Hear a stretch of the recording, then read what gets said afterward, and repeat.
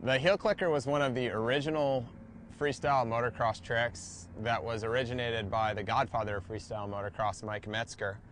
Basically, the heel clicker is where you take your feet out, wrap them around your arms, and touch them basically right in front of your face while you're in the air, and then bringing them back down, putting them on, on the pegs before you land and touch the ground. The trick's fairly easy to do as long as you're an experienced rider, you have good comfort level on your bike, and uh, the ability to move around without much worry in the air. It's also important to find a good jump, uh, maybe a jump that lofts you a little bit front end low will help you br to bring the handlebars down a little bit and make it easier to get your legs up and over and clicking.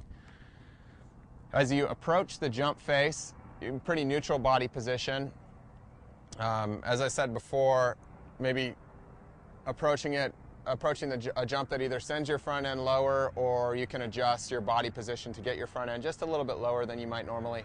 Um, lifting your body up. As you hit the face of the jump, your suspension will load. As it unloads, you jump your body up, your legs up and around your arms, and you bring them together in front of your face. Uh, the ideal heel clicker is obviously to get your feet all the way together. That's thus being called the heel clicker. But uh, as you're learning, it might be a little bit easier for you to, to get them up and over and then bring them back, up and over a little farther and back, and just gradually progress to the point where you can actually touch your heels in the air uh, and get them back down to the pegs prior to landing. Um, the only pitfalls of this trick is, is if you were unable to get your feet back, you could definitely crash.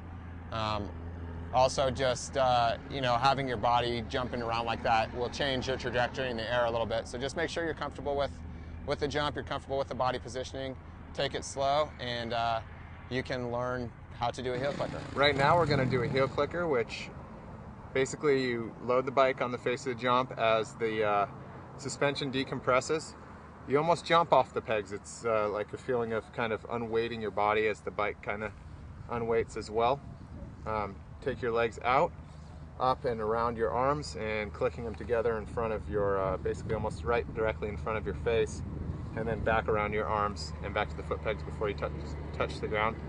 Uh, just a couple things to remember, always make sure that you're on a good sized jump, that you have plenty of time to, to perform the trick and get your feet back on the pegs.